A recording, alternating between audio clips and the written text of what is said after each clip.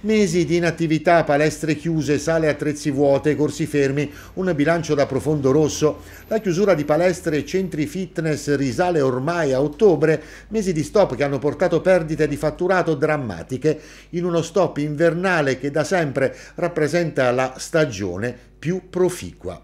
Date certe sulla riapertura non ce ne sono, i ristori sono miseri, frustrante l'incertezza sulle nuove regole. A tutela dell'intero settore a dicembre è nata la LIS, Lega Imprese Sportive, un'associazione di categoria fondata con l'obiettivo di tutelare il mondo dei lavoratori che gravita attorno alle palestre, ai centri sportivi e fitness.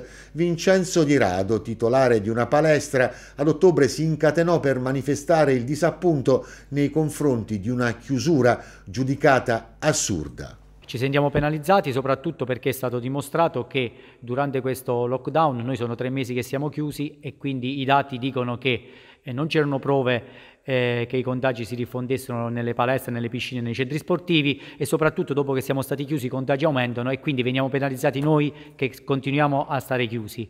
E quindi approfitto per dire che è nata la LIS la Lega Imprese Sportive, che è un sindacato che rappresenta tutto il mondo sportivo, che presenterà delle istanze. Venerdì probabilmente saremo in diretta sulla piattaforma, dove approfitto a tutti per inserirsi e mettere idee, proposte, problematiche da, da, proporre al nostro Ministro dello Sport, perché soprattutto dobbiamo pensare a una ripartenza dove lo sport deve essere centrale aumentare i momenti eh, di operatività.